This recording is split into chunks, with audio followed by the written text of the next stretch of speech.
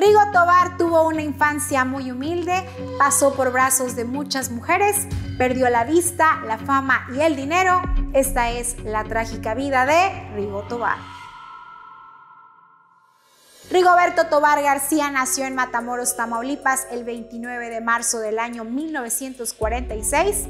Fue criado en una familia humilde junto a sus nueve hermanos. Debido a que la familia Tobar era numerosa, sufrieron de muchas carencias por lo que su padre tuvo que involucrar a sus hijos en el trabajo de carpintería y construcción, obligando a la mayoría de ellos a estudiar solo hasta la secundaria. ¿Y antes qué hacías? ¿No estudiabas? Eh, música no. Pero- Estu- estudiaba, sí, estudié este, electricidad, estudié... ¿Secundaria? no. Secundaria, Pero exactamente. nada más. No, nada más. Secundaria y pues trabajaba. Rigo tuvo una infancia poco común, pues mientras ayudaba a su familia a salir adelante, al mismo tiempo estudiaba, era mensajero en una farmacia e incluso practicaba algunos instrumentos musicales que tenía su padre, pues formaba parte de la banda municipal de la ciudad. Rigo decidió ir a Texas en búsqueda de una mejor oportunidad, pero todo se volvió más complicado ya que tuvo que comenzar a trabajar en fábricas.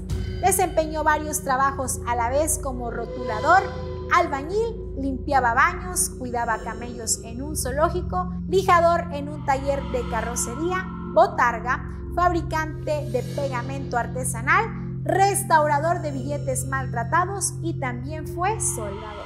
Pues trabajaba. ¿En No. qué? En Comisión Federal de Electricidad.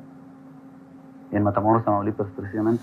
Fue carpintero en un club nocturno y ahí mismo lo invitaron a tocar en un grupo musical y es aquí donde se le ocurre formar un grupo con sus hermanos y a otros amigos llamado Conjunto Costa Azul. Yo estuve en un trío, primero como primera voz. Yo a este trío, este, bueno, le pedí a los muchachos, ¿no? De- que ya antes era un dueto, que me dieran la oportunidad para aprender guitarra.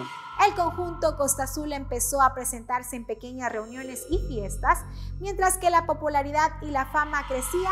Con ello les ofrecieron contratos para eventos con mayor número de asistentes y la lucha por abrir puertas no fue fácil, ya que nadie se arriesgaba a difundir la música de un desconocido y fue entonces que una disquera lo contrató para grabar su primer disco en 1971.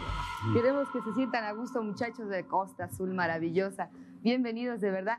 Siéntanse a gusto. Sin duda alguna era bien conocido como amante de las mujeres, ya que desde joven era muy ojo alegre. Su primer amor en la adolescencia fue Zuleima Sotelo Llamas.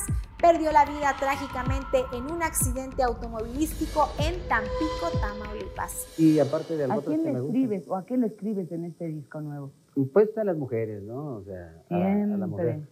Siempre. Pues que no puedo cambiar de rumbo, o sea. Allí, allí. Ya hace bien. Este hombre enamoradizo tuvo cerca de 12 hijos de 6 mujeres diferentes. Los romances que marcaron su vida fue Juana Torres, ya que de este amor nacieron sus primeros tres hijos. Mis hijos, a Christopher, a Sara, a Gibran, Elvia, María Luisa, Sara Alicia, Ángel, Michelle. Síguele, síguele, compadre.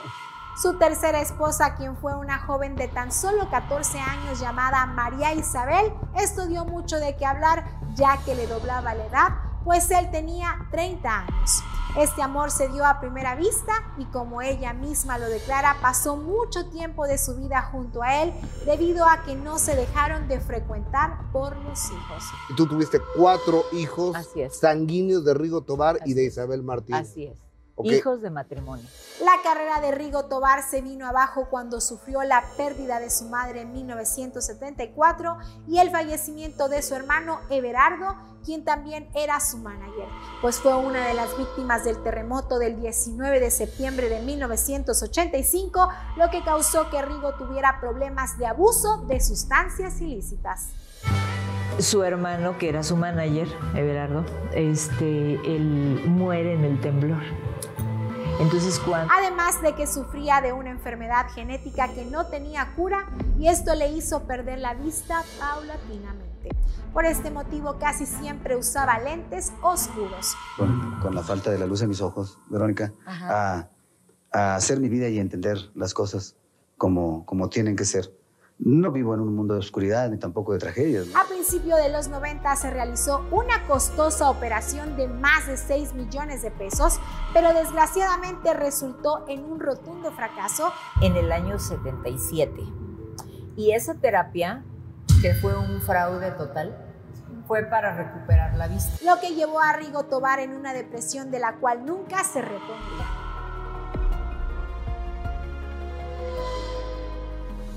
También empezó a sufrir de vitiligo, una enfermedad que afecta el pigmento de la piel.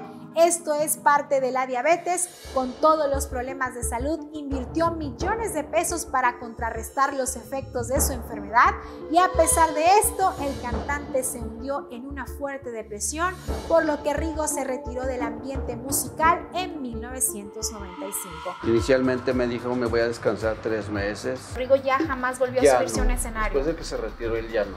¿Cuándo fue la última vez que usted lo vio? Que usted vio a Rigo Tobar.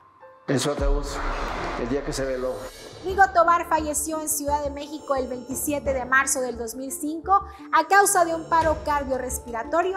Su cuerpo fue cremado y pidió que sus cenizas recorrieran todo el país y que después fueran esparcidas en la playa de Matamoros. Hoy en día su música sigue siendo recordada por todos sus seguidores, nombrándolo el rey de la cumbia tropical. Sí sabía que estaba enfermo, sí sabía que era necio y que no llevaba el tratamiento, comía lo que no debía. ¿Cuál de sus canciones es su favorita? Estaré leyendo y comentando. Yo soy su amiga Dulce Gypsy, les mando muchísimos besos y los veo en el próximo video. Adiós.